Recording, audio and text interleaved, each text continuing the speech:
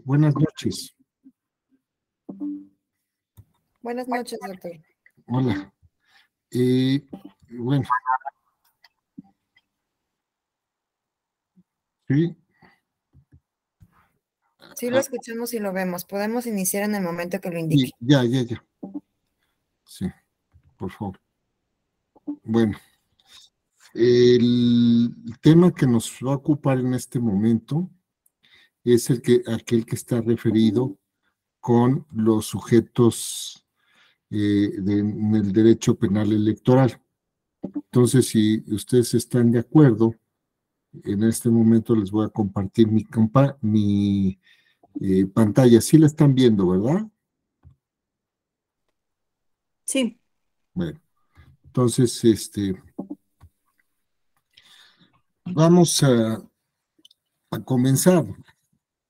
Este, este es un tema muy eh, relevante eh, y sobre esto conviene hacer algunas referencias de, de carácter general. A ver, ¿siguen viendo la, pantalla, compañeras y compañeros? Sí. Sí, bueno. Entonces, este, porque ahí uno los ve ustedes. Aquí está. Bueno, entonces, este, esta cuestión eh, está referida eh, eh, dentro de este diplomado en Derecho Penal Electoral.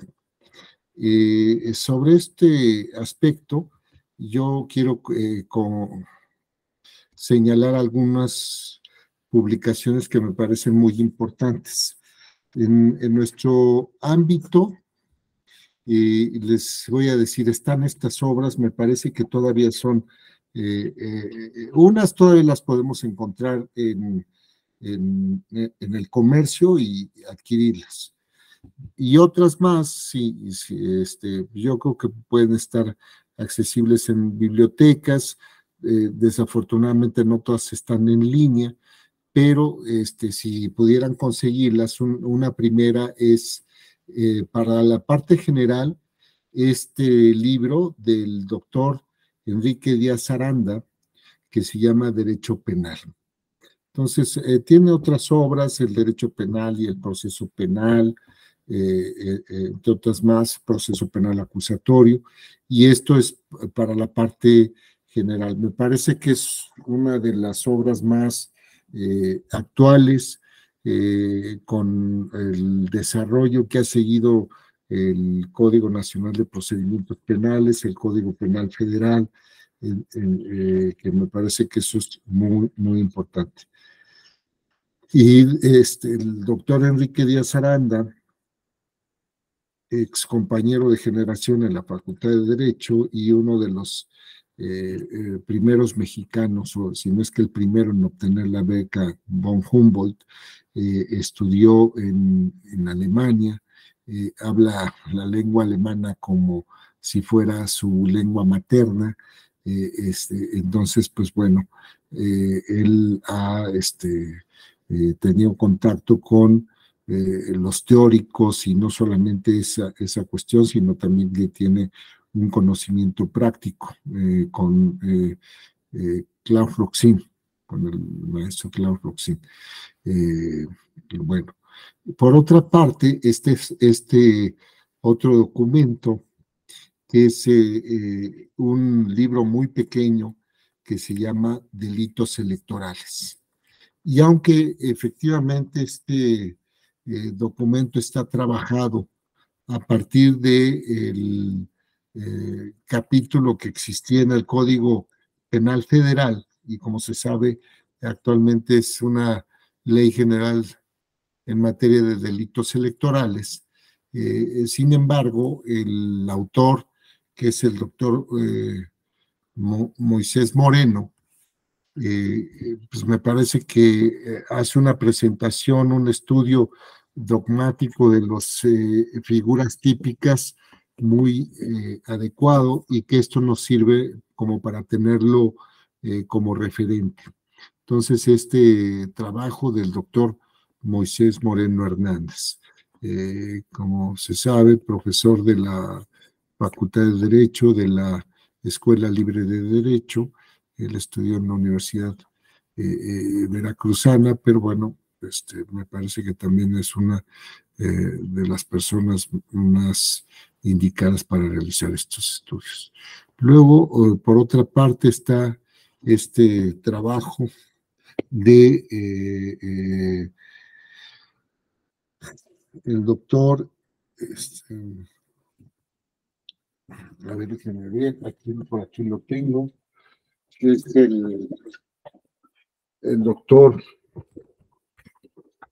César Astudillo y el doctor Gilberto Pablo de Hoyos Colofón, este uno fiscal especializado en el estado de Nuevo León y el eh, doctor César Astudillo, como ustedes saben, toda una institución en el Instituto de Investigaciones Jurídicas de la UNAM.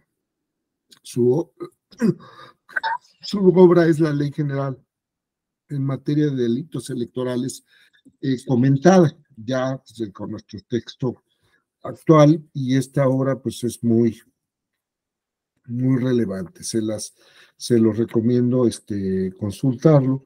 Este eh, hay autores muy relevantes digo el doctor Alfredo Orellana Moyao por ejemplo eh, em, Jaime Hugo Talancón Escobedo eh, la consejera Claudia Zavala Pérez, el doctor eh,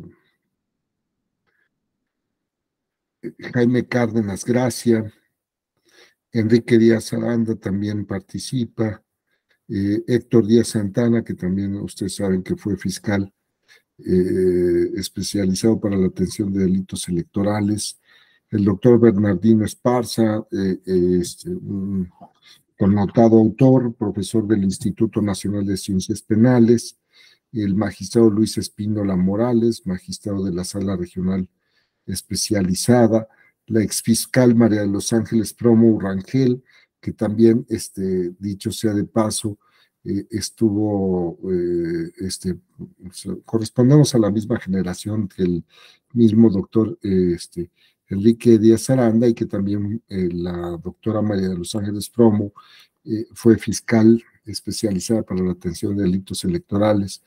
El maestro Gerardo García Marroquín, eh, actualmente en la Fiscalía para la atención de delitos electorales.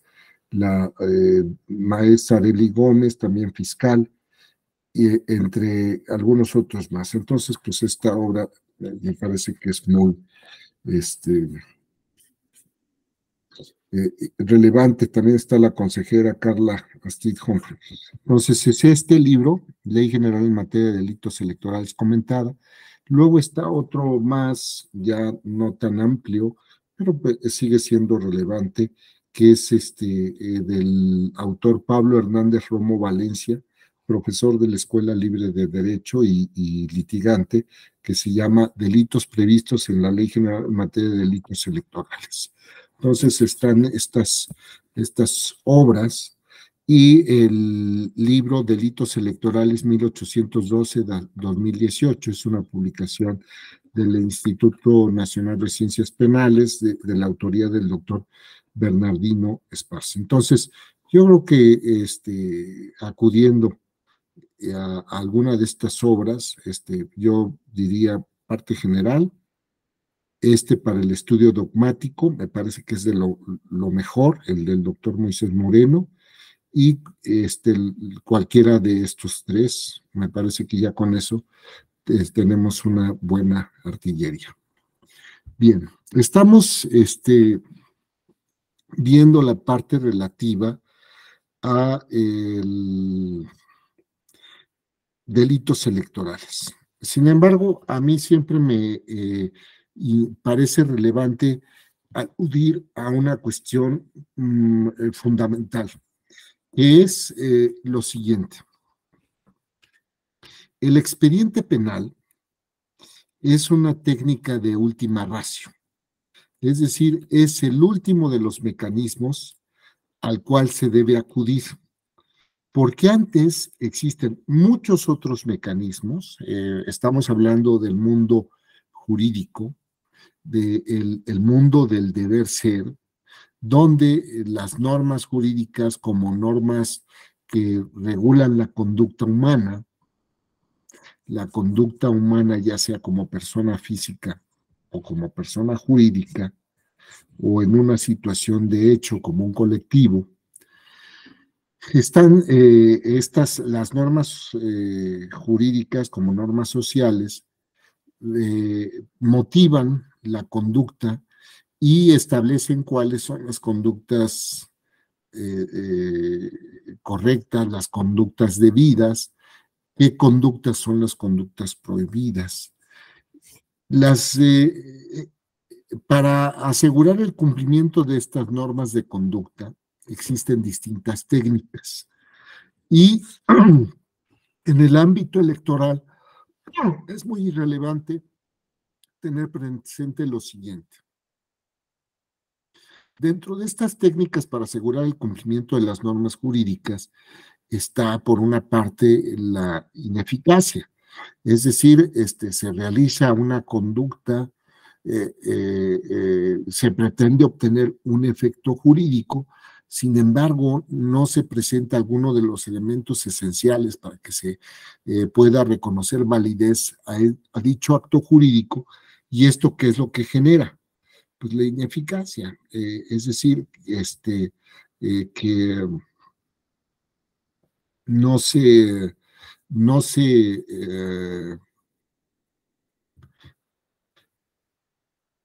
reconozca efecto jurídico a esta cuestión, perdón, ya sea por una cuestión relativa a eh, este, el objeto o, alguno otro de los elementos, la manifestación de la voluntad, etcétera. Este, digo, en estas eh, cuestiones, en el, campo del derecho electoral, no se presenta tanto como sí ocurre en, en otros eh, eh, en otros casos. Sin embargo, podemos ilustrar con algunos ejemplos. Por ejemplo, eh, puede ser este, una organización de ciudadanos que pretende constituir un partido político, realiza el aviso al, Instituto Nacional Electoral de que su intención constituirse en un partido político e inicia los actos tendentes a obtener ese registro. Sin embargo, alguno de ellos es este, eh, no se cumplen los, los extremos, eh, por ejemplo, lo relativo a obtener los documentos básicos, como puede ser la declaración de principios, el, el, el programa de acción y los estatutos. Entonces, pues esto genera que el autor devenga en ineficaz. Por ejemplo, cuando se pretende obtener un registro, se presenta la solicitud de registro, sin embargo, pues este, no aparece la firma o falta algún otro de los documentos para obtener el registro en una candidatura, eh, como por ejemplo pudiera ser alguno de los que resultan imprescindibles, como pudiera ser la eh, eh, credencial para votar. O bien en el caso de, un, de una coalición, que se pretende registrar, sin embargo hay algún problema en el convenio, que no, alguno de los partidos políticos este, que pretende constituirla, quien lo firma, pues no es un directivo que esté, que tenga la representación, ni mucho menos que esté autorizado para suscribir el propio convenio de coalición. Entonces, aquí que tenemos el, el acto que se realiza y que se pretende que surte efectos, pues no eh, surge a la vida jurídica no se alcanza el objetivo porque falta algún elemento. Luego hay otros casos, aquí ilustro con los siguientes, por ejemplo, la revisión ex, eh, oficio. Ustedes saben que cuando se eh, presenta una cuestión relativa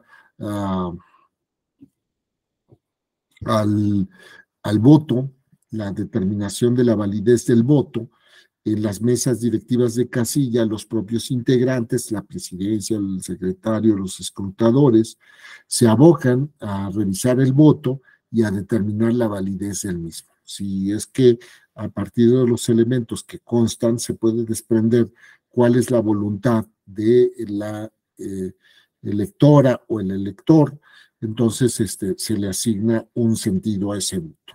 Sin embargo, hay algunos otros casos en que no se eh, puede desprender cuál es el sentido de la votación y la propia mesa directiva de casilla ex oficio determina que el voto es inválido. Hay otras cuestiones, por ejemplo, cuando se procede a la apertura de paquetes, paquetes que tienen alguna muestra de alteración o en los que no consta el acta ni, ni, aparece en poder del, de quien ocupa la presidencia del órgano correspondiente que va a realizar el, el, cómputo eh, distrital o el cómputo municipal, pues se procede a la apertura del paquete para determinar, eh, este, eh, para proceder a esa revisión ex oficio en los casos que taxativamente están previstos en la ley y en los que procede la apertura del mismo. Hay algunas otras cuestiones cuando se declara la validez de la elección o bien cuando al revisar la documentación se puede, se puede determinar que es el caso de que no se debe determinar la validez de la elección. ¿Por qué? Porque eh, este, vamos a suponer el caso más ocurrido, eh, el, quien eh, pretende obtener el triunfo y, de hecho este, alcanza la mayor votación, pues resulta que es inelegible. Entonces, en esos casos, el, el órgano que realiza el cómputo y está facultado para declarar la validez y expedir la constancia de mayoría o de asignación, pues determina que, pues, sabes que no cumples con alguno de los extremos, entonces voy a considerar que eh, eres eh, eh, inelegible y entonces declaro que la elección no es válida. Si, si no este, procediera la emisión de, o la expedición de la constancia a quien este, hubiera obtenido la, mayoría, por ejemplo, cuando no existe suplencia o cuando los dos integrantes de la fórmula son inelegibles. Entonces, aquí opera una revisión ex oficio por la propia autoridad que eh, se va a ocupar de lo relativo a este, la, expedición de la constancia o, la eh, asignación de no en determinado sentido de, en el caso de la votación. Y entonces este, viene otro caso viendo otra serie de casos, cuando, por ejemplo, eh, este, eh, que no es muy, muy común, sin embargo, ya se ha presentado. Esto de, lo que les estoy hablando, de la determinación de la validez de, en, el proceso de, de, cómputo, declaración de validez y otorgamiento de las constancias, pues es lo más común te ocupas de la elegibilidad. Sin embargo, hay otros casos en donde se pueden presentar problemáticas. Y eh, eh, ya no es una cuestión meramente de, eh, de, carácter especulativo, sino que se han presentado en la vida real. Yo recuerdo que cuando existía todavía la, la sala regional del Distrito Federal, que ahora este, fue sustituida por la Sala Regional de la Ciudad de México, de acuerdo con la nomenclatura de texto de nuestra Constitución Federal, este, había, eh, se, había presentado una circunstancia así y el tribunal, eh, esta sala regional, dijo, bueno, ¿qué ocurre este, si, por ejemplo, se advierte que existen irregularidades en la elección? y procede eh, este, independientemente de, del tema de la inelegibilidad. O sea, no estamos viendo un caso de inelegibilidad, sino de un caso en donde hay tal desaseo, tantas irregularidades en la elección en el distrito o en el municipio, bueno, aquí era, eh, eh, me parece que un distrito electoral uninominal. Y la pregunta sería, en todos los casos en que sean elegibles los integrantes de la fórmula, se debe considerar entonces que es válida la elección y no tiene esa posibilidad de eh, revisión, de inspección, de verificación el Consejo Distrital o el Consejo Municipal. Y pareciera que, la, este, que quienes han participado en una sesión de cómputo distrital o en una sesión de cómputo municipal, Entonces, ¿qué, ¿qué, es lo que se ve? A mí me tocó apreciarlo este, cuando era mm, secretario de estudio y cuenta de la sala superior y después secretario instructor, y luego también cuando fui magistrado en la sala regional Toluca, este, advertía que más o menos la sesión de cómputo distrital es una sesión que va en automático, donde se tiene una relación de los distintos acontecimientos que ocurrieron durante el desarrollo del proceso electoral. Y entonces, este, durante el desarrollo de las etapas precedentes al día de la jornada electoral, pues se hace una, una, una relación más o menos. Y que el proceso inició en tal, eh, en tal día, ¿no? Bueno, antes era la, la, primera semana de octubre, en otro momento fue en septiembre, y lo que tenemos ahora es que sería en noviembre, con una legislación que está suspendida, si no me equivoco. Entonces, este, y, continúa. Y que vino el registro de las, de las coaliciones, y se llevaron a cabo las precampañas, este, de, tanto de las candidaturas independientes como de aquellos que estaban participando en las elecciones internas de los partidos políticos. Este, se, eh, se llevaron a cabo las eh, determinaciones en el seno de los partidos de que quienes habían sido eh, resultado vencedores o quienes habían resultado vencedores, o bien este, viene, viene la etapa del registro de las candidaturas, se desarrollan las, las, las eh, campañas, vienen los informes sobre las precampañas en materia de fiscalización, luego vienen las campañas, se presentan los, los informes este, parciales de la, de la campaña, concluyen las campañas, se distribuyó el material electoral, la documentación electoral, se llevó a cabo la jornada electoral y ahora estamos en la sesión de, de, cómputo. Bueno, ahora de, con la ley que está suspendida se dice que este, ya no comienzan a partir de, de el miércoles siguiente, sino una vez que te concluyen las eh, eh, la jornada electoral. O sea, concluyes la jornada y prácticamente ya estás haciendo el cómputo.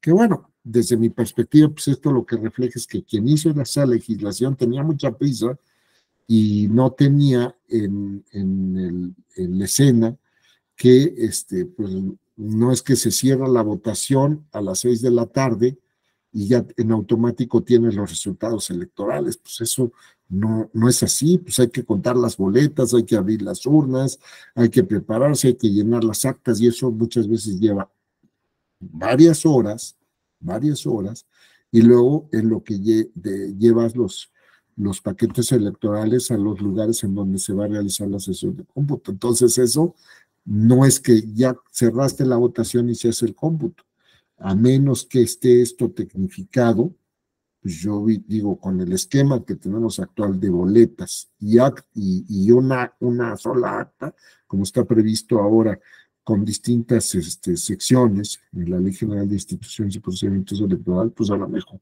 este, pues te vas a tardar, porque además hay que trasladarlo y no todo es la Ciudad de México.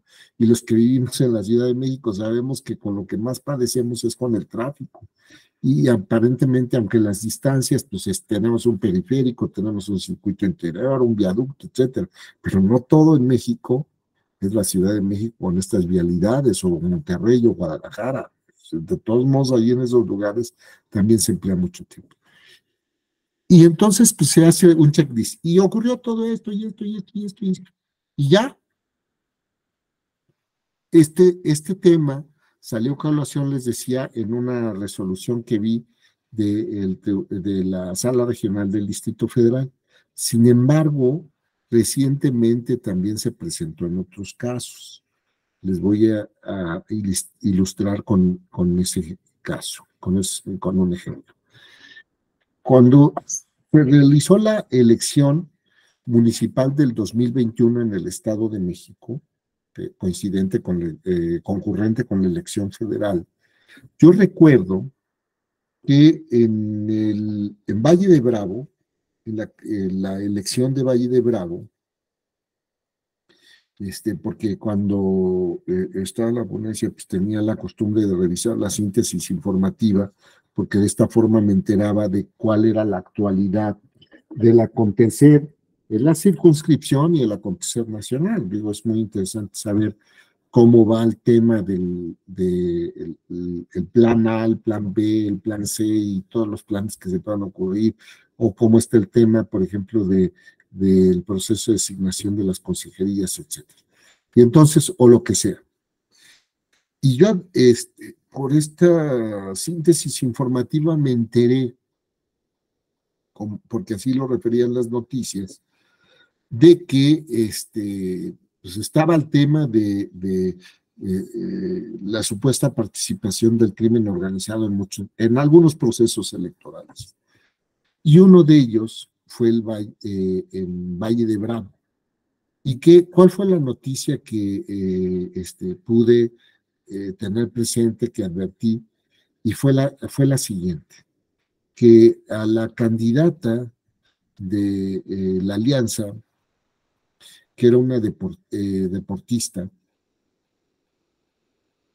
la habían levantado, es decir, secuestrado, le habían privado la libertad.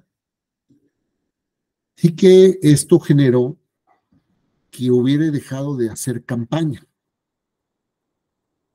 Y además, que después de que la liberaron, después de que estar este, privada de la libertad, creo que tres días,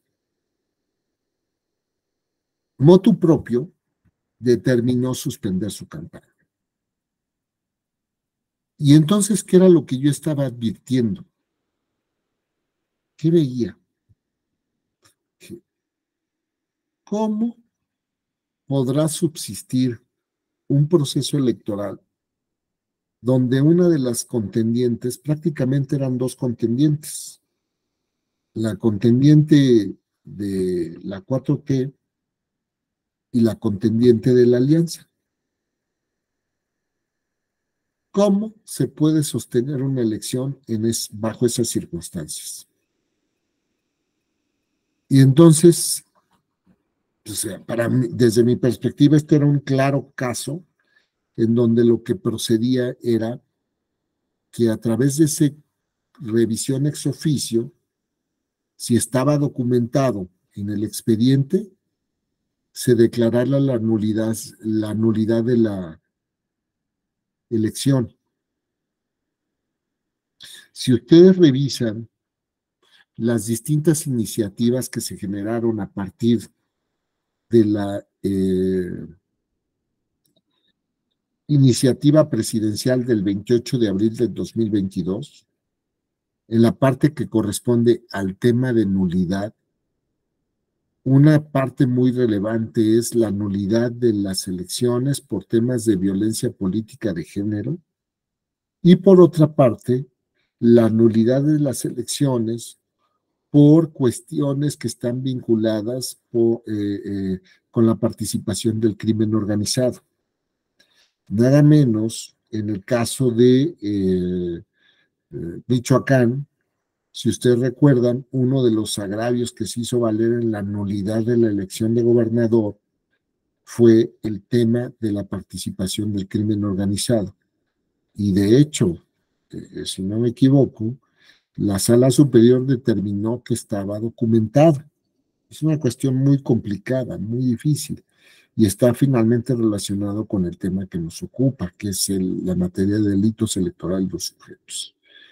Y entonces, este, ahí mi reflexión fue en el sentido de, si tenemos este contexto en donde una de las candidatas fue privada de la libertad y después determinó no hacer campaña, ¿cómo puede subsistir la validez de una elección? No les voy a hacer el cuento muy largo, pero lo que sí ocurrió es que no se impugnó, no se cuestionó, la, validez de esa elección a pesar de esas circunstancias. Por lo menos no le llegó a la sala regional de Toluca, que era donde yo estaba trabajando como magistrado, sino vale estas cuestiones. Pero yo decía, ¿cómo es posible que se pueda sostener una elección en ese contexto? de privación de la libertad de la candidata a la presidencia municipal y de la suspensión de la campaña. Y uno diría, bueno, pues es que la cuestión es que cuando el crimen organizado participa en estos procesos, esto te complica las cosas de una forma muy eh, este, alarmante. Es una cuestión muy delicada. Y entonces, si no resiste eh, eh, los distintos actores políticos y tan no resistió que por eso no se cuestionó el, aspecto relativo al, desarrollo de la campaña y su trascendencia en el resultado, pues ¿qué procedería? Porque el sostener un resultado así, en esas condiciones, me parece que es establecer un mal precedente que eh, representa un incentivo. No desconozco, me imagino que debe ser muy complicado, y que si este, fue tal la amenaza o la participación del crimen organizado, lo estoy viendo desde eh, eh, las referencias que, de lo que vi advertí en las noticias, de tal manera que hicieron que la candidata desistiera de la campaña y los partidos luego no le impugnaron, pues puede decir o no interesa o es que de verdad sí se presentó esta cuestión y es tan este, eh, trascendente, tan relevante la participación del crimen organizado que tiene la posibilidad de inhibir la actuación de los distintos eh, partidos políticos y candidaturas para controvertir un resultado. Entonces, ahí pensé, dije, estos son los casos en donde debería de ejercerse la facultad de atracción por parte de los consejos generales, porque sí creo que este, eh, resulta eh, comprensible eh, reconocer que puede ser tanto el impacto, el control del crimen organizado, que pueda este, inhibir la actuación de un consejo y que un consejo no se, eh, no se aviente esta cuestión de realizar una revisión ex oficio de la regularidad de ese proceso electoral. Y tan pudiera ser que estaban este, tan inhibidos, tan este, em, que hubiera sido tan eficaz el influjo del crimen organizado que por eso no nadie lo reparó sobre esta cuestión y nadie dijo nada, bueno, si nadie, si la candidata no lo cuestionó, la que fue privada de la libertad y que no siguió haciendo la campaña no dijo nada, pues eh, eh, declaremos la validez de la elección y emitamos la constancia. Y ahí es donde, eh, este, insisto, es donde debería de existir un protocolo de actuación para los consejos generales de qué hacer en los casos en que se tengan noticias de que el crimen organizado está participando en los procesos locales. O sea, es una cuestión desde tomar las providencias necesarias para asegurar condiciones eh, de libertad suficientes, de seguridad, para que pueda participar no solamente el día de la votación, las electoras y los electores, la ciudadanía, sino también durante el desarrollo de las campañas. Entonces, este, pues lo hemos visto, hay este, lugares, regiones en donde eh, la presencia del crimen organizado es muy notoria, es evidente, y no este, me parece tan difícil concluir que si eh, los cuerpos de seguridad, por ejemplo, lo que ocurrió recientemente en Matehuala, San Luis Potosí, ¿no? De que este, parece, eh, al parecer, dadas las noticias, el, el, jefe de la policía, pues este, estaba muy implicado con el crimen organizado, ¿no? y, y, pues este, de lo que tengo de mi, del registro noticioso, es que este, tenía, dicen, unas bolsitas con polvo blanco. Entonces, pues, pues, en fin, pues saquemos conclusiones de esto. Aquí, está este caso. Y, y, les digo, 2021 Valle de Bravo. De verdad, yo este, dije, este asunto, si llega a la sala regional, va a ser muy complicado. No llegó, y, no digo que sea para alivio de la, de la sala, sino que resulta preocupante que puedan llegar a ocurrir estas cosas y no se dice nada y no se hace nada. Bueno, y luego está el expediente punitivo. Eh, bueno, este, esta parte atañe al contencioso administrativo y jurisdiccional y luego el expediente punitivo, administrativo y penal.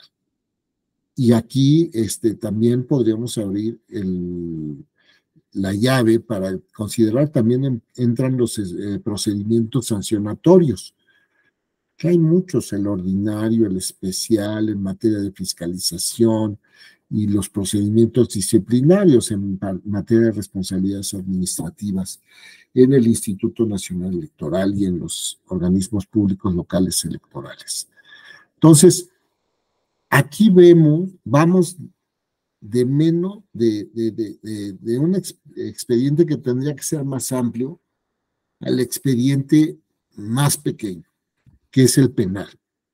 Y esto vale la pena verlo porque me parece que en todo, en, eh, particularmente en la materia electoral, más que acudir al expediente penal, debemos pensar en los otros mecanismos que también aseguran el cumplimiento de las normas jurídicas, pero que tienen un efecto diverso, un efecto ya sea reparador, correctivo, anulatorio, de, de reposición, de no repetición, etcétera. Los distintos efectos que se, que se prevén y que no se construyen eh, este, en el caso de las resoluciones o sentencias jurisdiccionales, al confirmar, modificar o revocar, sino que tienen un eh, ámbito más amplio eh, de acuerdo con lo que resulte necesario en cada caso.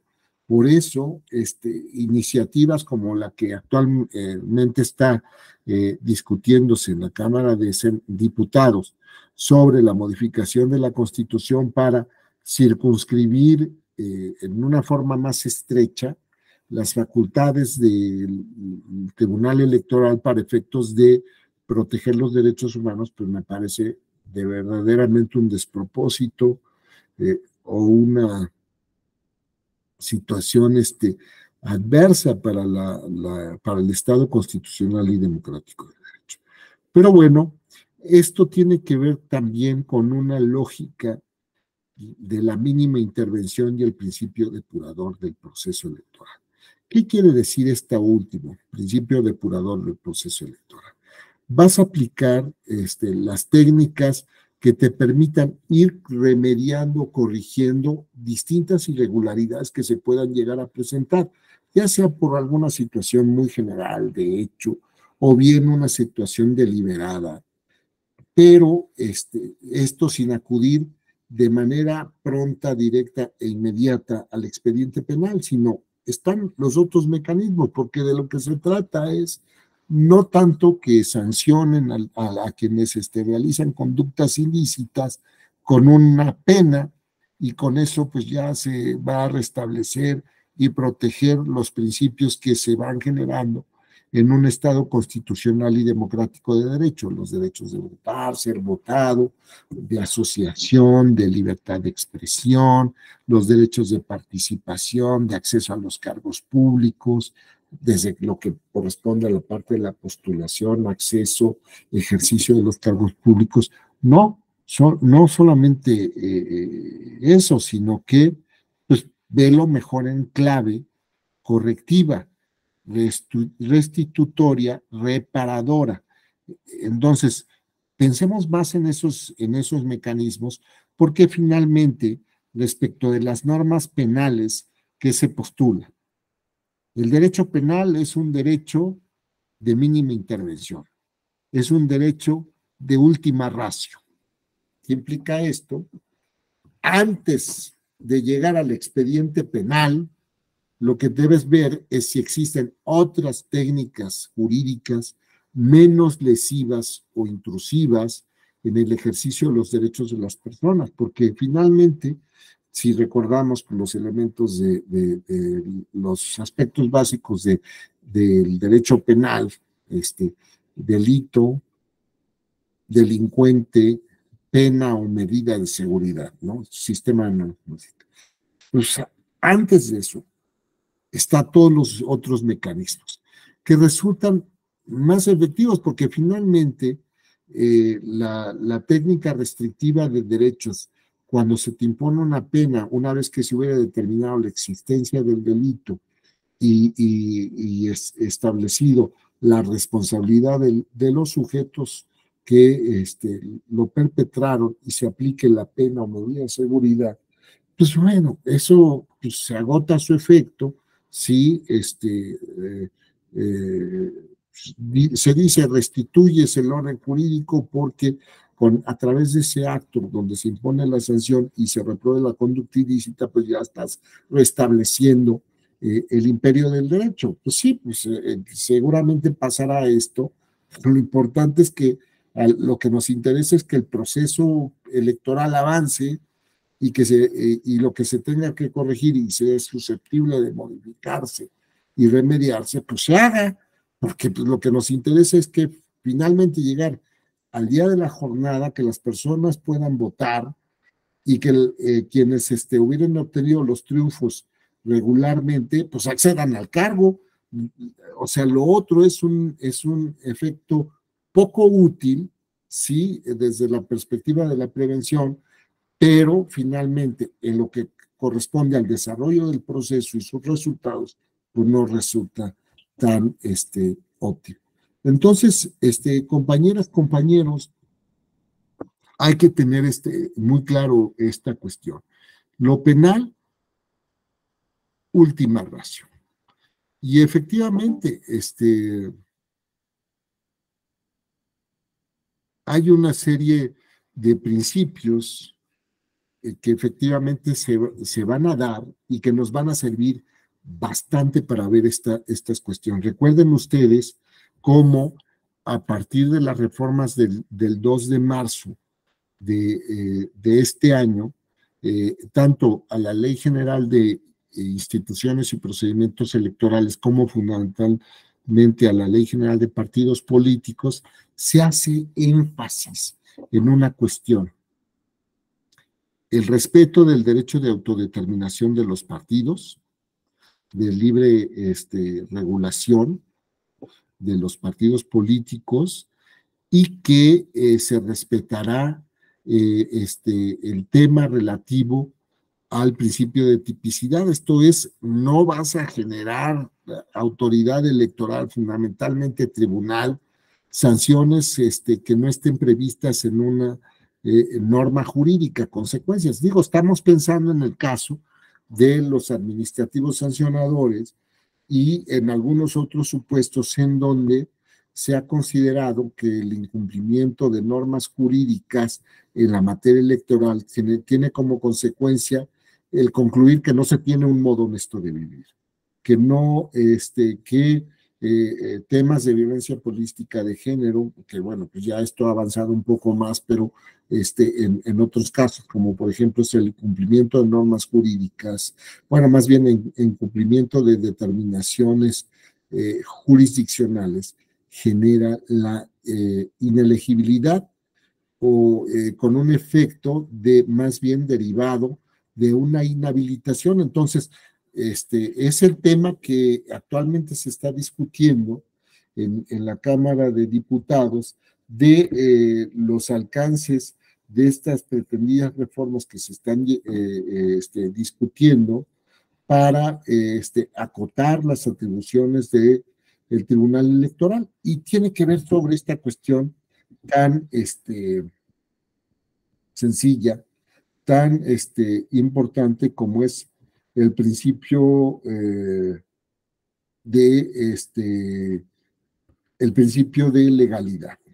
Pues, sabemos que en el caso de la materia penal, el principio de legalidad es fundamental porque este, aquí es donde, como se trata de eh, consecuencias jurídicas, la imposición de penas que eh, restringen el ejercicio de los derechos, pues es un derecho de estricto derecho, es un eh, derecho de aplicación estricta, de donde se tienen que realizar interpretaciones restrictivas cuando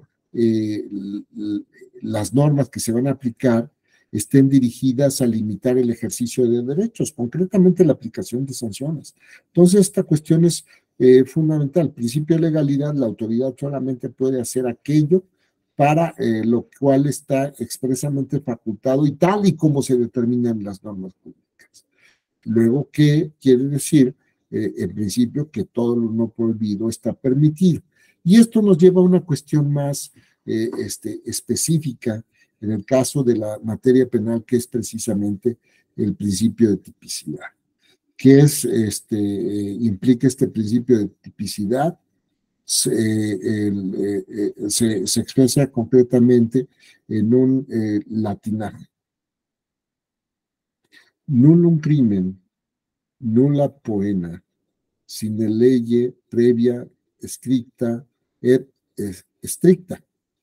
es decir, no hay delito, no hay delincuente no hay pena sin que exista una ley previa, escrita, que se aplique en forma estricta. Es decir, eh, tiene que haber una descripción de una conducta que está prohibida o una este, eh, omisión, o bien de un resultado que pueda conseguirse a través de conductas activas o omisivas, es decir, una hipótesis jurídica, eh, es decir, el presupuesto de la sanción y la sanción. Esto es el tipo y tiene que ser este, previo, ex ante a la realización de los hechos o la realización de la conducta del resultado típico. Tiene que estar a través de una ley en sentido formal y material escrita. ¿Esto qué quiere decir? Que tenga esta ley las características de generalidad, abstracción, impersonalidad, heteronomía, generalidad, y al igual que la eh, cuestión relativa a la sanción. Entonces, tienes la hipótesis y la, y la consecuencia jurídica, la sanción o medida de seguridad. Cuando tienes todos eh, estos elementos y lo que implica, lo que te permite desprenderse a través de este, la dogmática penal, este, eh, antijuridicidad, imputabilidad, este, eh, eh, eh, culpabilidad, punibilidad, en fin, todos los elementos que se manejan ante la, teoría, bueno, entonces luego también la conducta, este, etcétera, y que esto es lo que te permite este, hacer este desarrollo dogmático para este, ver si se actualizan todos los elementos típicos, es decir, de esto que conocemos como uno, un tipo básico, hipótesis y, consecuencia jurídica sanción, y los desarrollos que se han eh, realizado por la dogmática penal, precisamente para ver si se van dando los elementos típicos y en esta medida puedes llegar a concluir si hay tipicidad. Luego, otro de los principios, el principio del bien jurídico. ¿Qué es lo que se protege a través del derecho penal? Pues se protegen bienes jurídicos. ¿Y cuáles son estos bienes jurídicos? Pues son los bienes jurídicos más relevantes, importantes para eh, una sociedad concreta, eh, para la comunidad. Son cuestiones eh, fundamentales respecto de las cuales todas las otras técnicas no han sido suficientes y entonces este, llegas a la conclusión de que se tiene que proteger bienes jurídicos relevantes, valiosos para la propia sociedad. Y entonces esto es lo que eh, nos lleva a afirmar el derecho penal es este sistema de normas jurídicas a través de las cuales se establecen estos, estos tipos, con los cuales se pretende eh, proteger bienes jurídicos relevantes para la sociedad. En la medida en que este, encontramos esta justificación, se puede afirmar, este derecho penal es un derecho penal propio de un Estado constitucional y democrático de derecho, porque protege bienes jurídicos relevantes para la sociedad. Sobre estos consensos mínimos, sobre estos aspectos en donde se concluye que son bienes jurídicos tan importantes que por eso, como medida de última ratio, tiene que este, eh, protegerse a través de estas técnicas jurídica, que es precisamente el establecimiento de tipos. Y desde luego, pues también el principio de necesidad. Todo esto nos lleva a decir necesidad, eh, eh, es decir, que es este, una técnica adecuada, útil para proteger ese bien jurídico, que es este, el mecanismo, el instrumento idóneo, el eficaz para proteger ese bien jurídico. Y existe proporción entre eh, la previsión de la hipótesis y la limitación de derechos con la importancia del bien jurídico y la correlación de la limitación de ese derecho que se está este, eh, eh, proscribiendo, limitando a través de, tipo penal. Entonces, se da esta cuestión. Luego está este razonamiento que les había dicho. Es este, la eh, un este, em, derecho penal, no un derecho penal de bagatela, ni un derecho penal este, abaratado o un derecho penal este, opresivo por cuanto a que sea omnipresente en muchas circunstancias. Este, que, que uno diría, pues oye, pues pareciera que todo este tema que tiene que ver más con una cuestión este patrimonial, pues más eh, sería susceptible de protegerse a través de otra técnica, no sé, alguna falta administrativa o algún otro mecanismo que resulte eficaz para inhibir la realización de estas conductas y que pues, finalmente no es tan eh, relevante, tan trascendente este bien jurídico que admite una protección de una forma distinta. Entonces, reserva este eh, derecho eh, en donde sea necesario, estrictamente necesario, idóneo, proporcional, y que sea una cuestión en donde se dé una, mínima intervención del expediente penal en aquellas conductas irregulares o ilícitas. No puede eh, banalizarse el derecho penal, ni mucho, ni poco, eh, para proteger todos los bienes jurídicos, porque pues, hay otros mecanismos que pueden resultar más adecuados. Entonces, eh, ahí la mínima intervención. Y es un derecho penal eh, desde luego, el, derecho, este, eh, eh, como en general se trata del derecho penal, mm, este, y desde luego el derecho penal electoral, pues no se abstrae de estas circunstancias, es un derecho penal de última ratio. es decir, es la última de las medidas este, ya en una situación extrema donde tú concluyes, oye, pues después de revisar sensatamente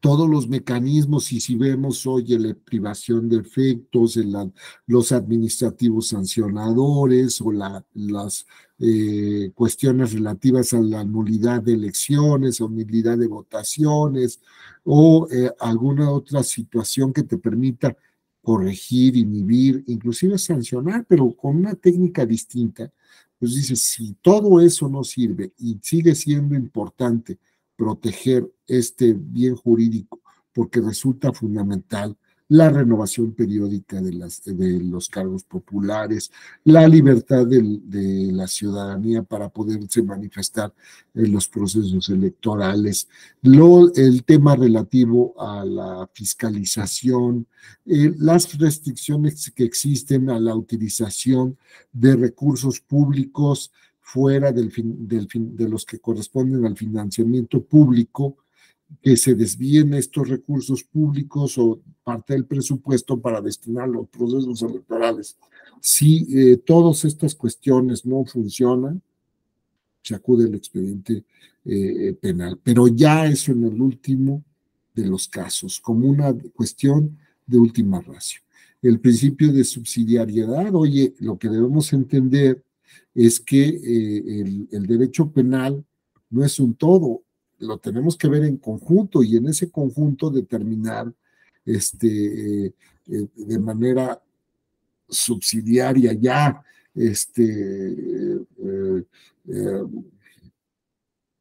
como un recurso alterno, pero bien visto desde el propio conjunto de instrumentos que tiene la autoridad para proteger bienes jurídicos. Entonces, este, y ya eh, en ese concierto, pues acudir subsidiariamente eh, en una situación extrema a el expediente penal y en la cuestión de la lesividad. ¿Y esto qué implica? La lesividad implica que eh, este, los derechos, que los bienes jurídicos que, que se protegen a través de la técnica de el expediente penal efectivamente hubieran sido vulnerados o bien puestos en peligro. Y entonces, dependiendo de los elementos típicos, es que se determinará si, si, la conducta es de resultado, eh, eh, donde existe una, una afectación eh, real, actual, este, al, al bien jurídico, o bien si es una circunstancia que resulta inadmisible, y respecto a la cual solamente se puso en peligro al, bien jurídico. Entonces, solamente en esos casos en donde exista un eh, eh, peligro, un riesgo eh, actual o inminente, este, relevante para, la, para el bien jurídico o bien una afectación, entonces se puede considerar que se da la lesividad. En, en una situación diversa, pues no, se podría llegar a esta conclusión. ¿De acuerdo? Este, eh, fíjense que a partir de, este, de esta obra de Moisés Moreno Hernández, es que este, se pueden desprender algunos elementos objetivos y elementos subjetivos. Y es este precisamente lo que nos va a permitir a nosotros establecer, ir este, eh, focalizando el, tema de la exposición que nos eh, ocupa en, este, en esta ocasión.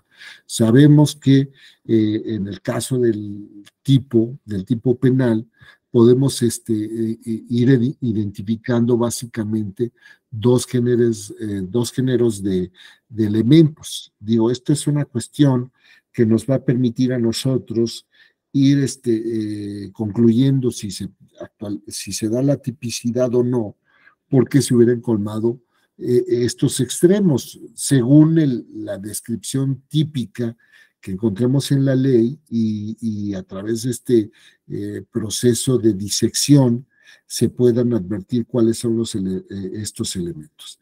Así nos podemos referir a la conducta de acción o omisión, o bien este, podríamos mencionar de, de resultados, si es que así se, se tipifica, y es decir, puedes realizar cualquier otra conducta que pueda provocar ese resultado. Entonces, este, eh, tenemos esta cuestión. El, está el, sujeto activo, es decir, eh, el sujeto sobre, eh, que despliega la conducta de acción o bien que incurre en una omisión que se abstiene de, realizar la conducta de vida, o bien eh, aquella persona que eh, produce el resultado, independientemente de las características intrínsecas de su conducta. Y bueno, pues los distintos sujetos activos, eh, ya sea en grado de autoría eh, o participación, y este, ¿qué es lo que encontramos? Que generalmente se acepta que existe un sujeto activo que puede ser común a quién, la persona que, el qué, etcétera, o aquel sujeto respecto del cual se establece una calidad específica. Entonces estaríamos diciendo es un sujeto común o indiferente o un sujeto con una calidad específica. Calidad específica, por ejemplo, el ascendiente eh, que el, la, la, persona servidora pública que este, el ministro de culto religioso, la ministra de culto religioso, el dirigente de un partido político, eh, las personas que este, manejan apoyos eh, gubernamentales, quien, este, eh, etcétera. Y entonces, pues aquí es, este, a partir de la construcción normativa, se puede, se puede establecer si es un sujeto común o con una calidad específica.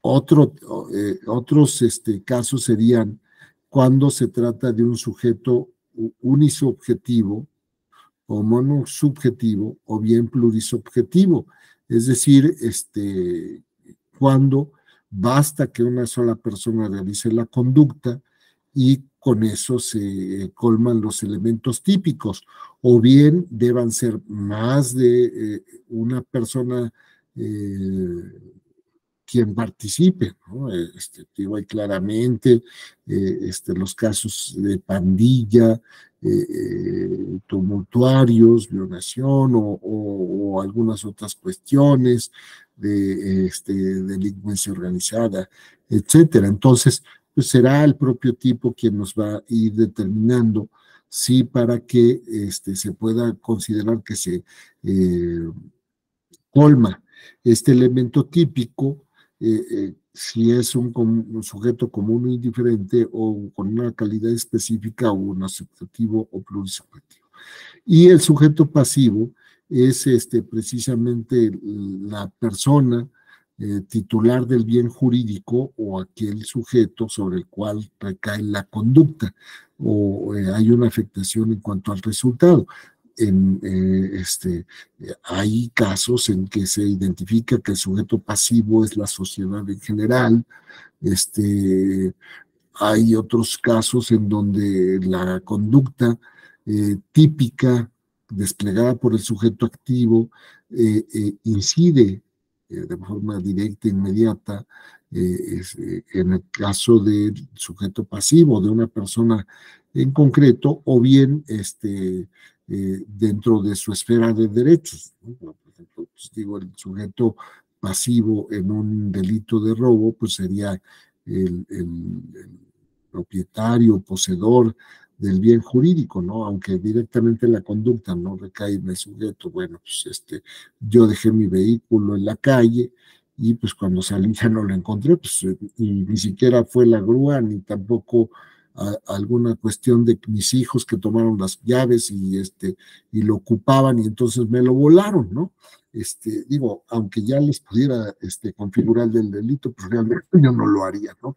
Y entonces, este, eh, pues ahí, pues, aunque la conducta no está recayendo en mi persona, lo cierto es que si es en mi esfera de derechos. Y entonces también se estas, estas cuestiones, si es común o con una calidad específica.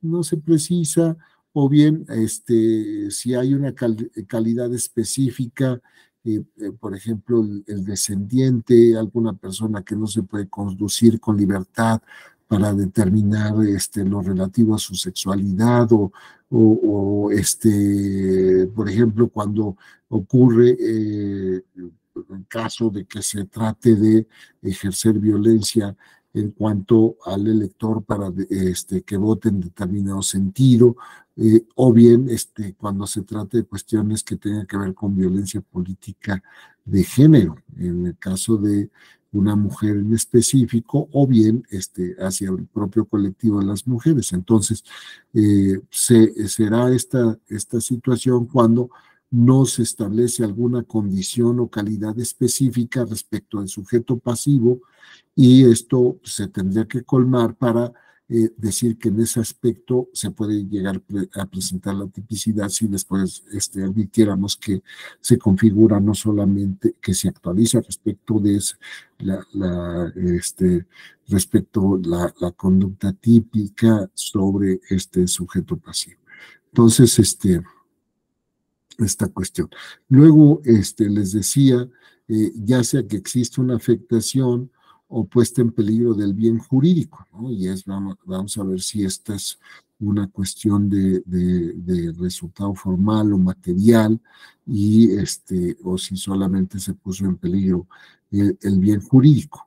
Eh, y dependiendo de la construcción eh, terminológica, de los eh, eh, elementos normativos, cómo se va desarrollando en el tipo y que podamos advertir, bueno, aquí este, nos están determinando si es peligro o, bien este, ya se desplegó la, la, conducta y tuvo un eh, resultado este, material, una, una lesión en ese sentido. Y entonces, pues bueno, lo, lo, se va viendo. En ocasiones también se precisa el este, objeto material con el cual se puede llevar este, eh, a cabo la conducta o sobre la cual también recae la conducta, ¿no? Las, por ejemplo, si son las boletas electorales, la destrucción de los materiales electorales, este, o alguna otra cuestión eh, semejante, los medios utilizados,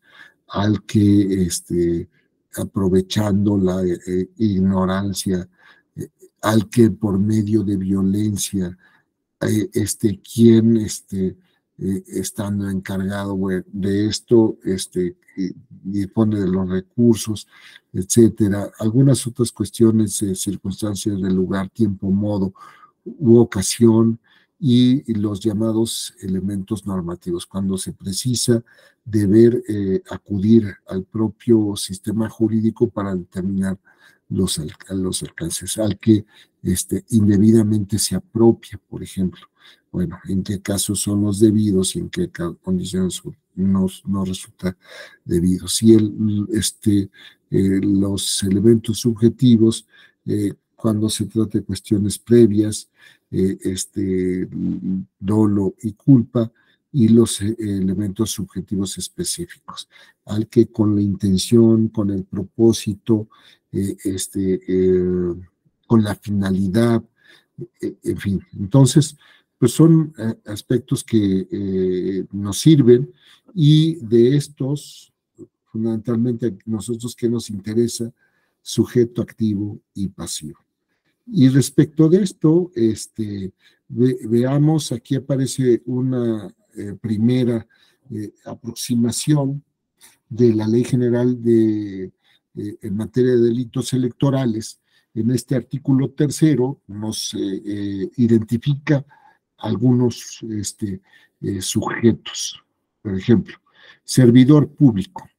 La persona que desempeña un empleo cargo o comisión de cualquier naturaleza en la administración pública federal o local centralizada, organismos descentralizados federales o locales, empresas de eh, participación estatal mayoritaria federales o locales, organizaciones y sociedades asimiladas a estas, fideicomisos públicos federales o locales, en las legislaturas federal o locales, en los poderes judicial, eh, judiciales federal o locales o que manejen recursos económicos eh, federales o locales, así como los organismos eh, a, los que la Constitución o la Constitución de las entidades federativas otorguen eh, autonomía.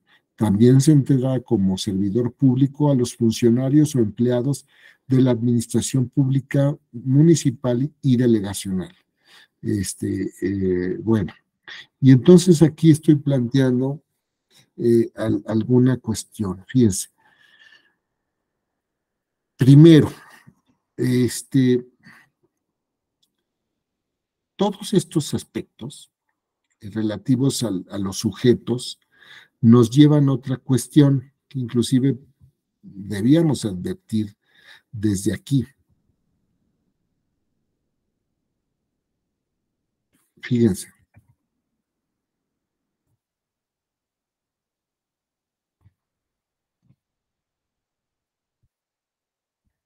Entonces, ¿qué significaría?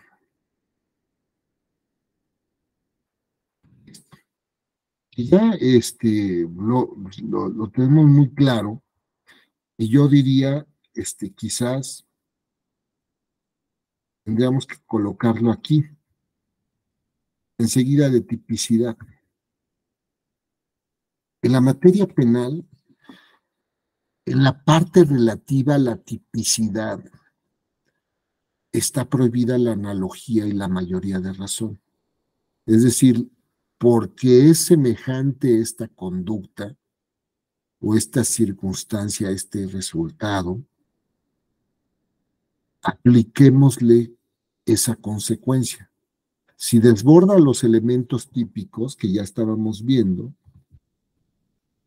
pues desde luego no lo podemos hacer, ni tampoco por mayoría de razón. Oye, si está sancionada una conducta, que tiene que ver con este bien jurídico que es relevante, pues con mayor razón respecto de este otro, con otro bien jurídico que es hasta más importante que el anterior, ¿no? No, pero así, no puede haber porque eso está desbordando la tipicidad y la mayoría de razón. Y hay otra cuestión, inclusive yo anotaría otro, que sería aquí, quizás aquí. Prohibición del non is in idem, que quiere decir no dos veces sobre lo mismo. Efectivamente, pues esta cuestión es, es, es así, o sea, no no podemos este, desbordar los elementos típicos, ni podemos incluir otros. Esto, esto es lo que se llama aplicación estricta y los números clausus. No podemos entender que sea este, eh, enumeraciones ejemplificativas, porque no opera así respecto al derecho penal pues eso implica desbordar muchos principios, ¿no? El principio de tipicidad, el, este, el principio de analogía, mayoría de razón, etcétera, mínimo intervención, subsidiariedad, etcétera. Y entonces, ¿qué es lo que estamos advirtiendo aquí? Digo, fuera de lo federal y lo local, pues está el ámbito municipal, efectivamente. Y entonces, ¿Qué tenemos? Tenemos aquí previstos, este, por ejemplo, administración pública federal, federal o local. Y luego también se refiere a los organismos descentralizados federales o locales. Lo local comprende, desde luego, lo de las 31, 31 estados y la Ciudad de México. Es decir, esos 32 entidades federativas. Incluye empresas de participación estatal mayoritaria federal o local, organizaciones y, sociedades asimiladas a estas, fideicomisos públicos federales o locales, en las legislaturas federales locales, en los eh, poderes judiciales federales o locales, o que manejan recursos económicos federales o locales, así como los organismos a los que la Constitución, las constituciones de las entidades federativas otorguen autonomía. Se entenderá como servicios públicos a los funcionarios o empleados de la administración pública municipal y delegacional. ¿Y qué tenemos aquí? Ya dos temas. Vean ustedes. así como los organismos a, los que la constitución o las constituciones de las entidades federativas otorguen autonomía. Y fíjense, no todos los órganos autónomos tienen su autonomía, ese grado máximo de descentralización, porque así se establezca en la Constitución. Hay órganos que tienen autonomía derivado de qué? De un texto legal. Por ejemplo, la Universidad Nacional Autónoma de México, su autonomía no le deriva del artículo tercero de la Constitución Federal, creo que es la fracción séptima o la octava, no recuerdo bien ahora, sino que se la da la ley orgánica de la UNAM, que es una ley, me parece, de 1945. Y así ocurre con muchas universidades que tienen autonomía. No, este, cada uno de nosotros podría revisar su, su, el caso de su universidad, la de Tlaxcala, la de este, Juárez, Autónoma de Tabasco, este, etcétera, la Benemérita de Oaxaca, y revisar si, si es autónoma y si esa autonomía se la da la Constitución o la ley. Y entonces mi pregunta es, no sé si el legislador tenía en mente eso. Porque bueno, ustedes recordarán en el caso de la llamada estafa maestra. Aparentemente se pensó que el mecanismo para distraer recursos públicos era a través de sistema educativo, las universidades. Y entonces salieron a relucir universidades estatales y otras universidades regionales. Y entonces, pues por lo menos esos, si no me equivoco, no caben en lo de en los organismos a los que la Constitución o las constituciones de las entidades federativas otorguen autonomía. Luego, ¿qué tenemos? Administración pública municipal o delegacional. Y entonces, este, sobre esto vamos a hacer un paréntesis ya, este, ya casi estamos sobre el tiempo, este, y, mejor les, les voy a, este, a consultar a ustedes si tienen algún cuestionamiento, si alguien desea participar, y si fuera el caso, pues este, eh, aprovechen compañeros y, y, hagan este, las observaciones o las reflexiones que consideran. Tiene ustedes el uso de la palabra.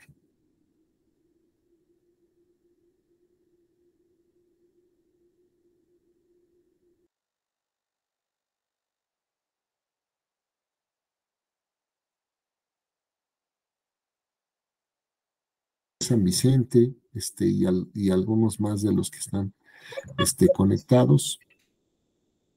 Víctor, Gabriel, Marciano, Ángeles, Rosicela, ¿no? Gio, Palac.